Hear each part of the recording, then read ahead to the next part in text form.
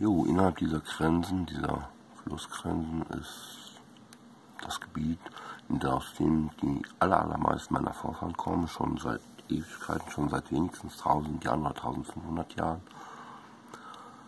Ich bin auch von meiner, von meinem Körper her, den ich auch von meinen Eltern her habe, durch die Zeugung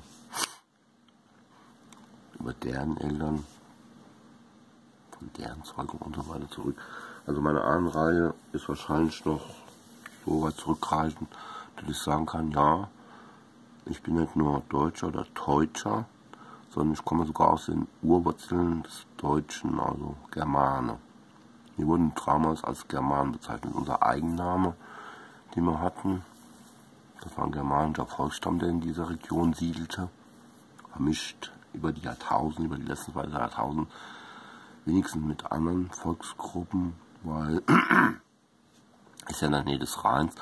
Am Rhein war viel Leben, die letzten zwei bis 3000 Jahre, besonders die letzten 2000 Jahre.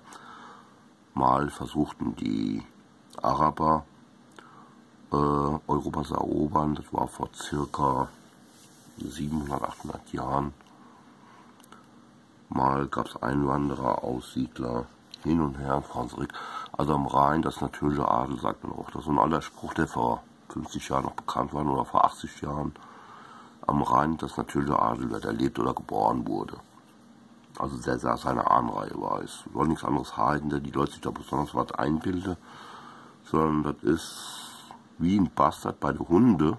Also wenn verschiedene Hunderassen sich mischen, mischen, kann das für die Nachkommen dieser Mischlinge halt nur von Vorteil sein. Dann ist es besser, Bastard zu sein, also aus verschiedenen Volksgruppen zu bestehen.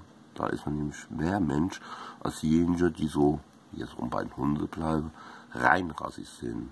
Ein reinrassiger Bulldogge hat seine Vorzüge, auch seine Nachteile, die man genau beschreiben kann. Dagegen so ein Straßenköter, den irgendwie klein kriegen oder kaputt zu kriegen, der hat Überlebenstechnik drauf, schon allein von seinen Vorfahren her, die mit dazu beigetragen haben, dass dieser Köder dann entstanden ist, dieser Bastard, die sind unendlich. Nun gut, bei uns Menschen nennen wir das nicht Straßenköder oder Bastard, sondern natürlicher Adel. Ja, Worte können viel in dem Bewusstsein des Menschen verändern, wie der eine Mensch den anderen einschätzt.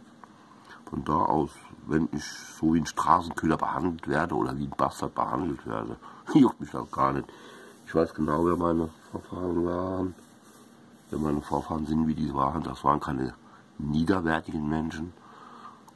Das war natürlicher Adel, meine Vorfahren, und dementsprechend versuche ich mich auch zu verhalten, wie es meinen Vorfahren gegenüber gerecht wäre, gerechtfertigt wäre. Versuche ich wenigstens, ob man das immer gelingt.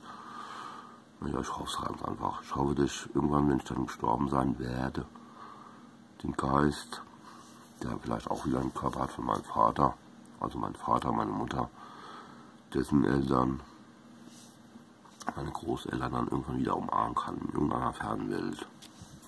Wollte ich noch mal kurz erwähnen, gell? Vielleicht geht's weiter.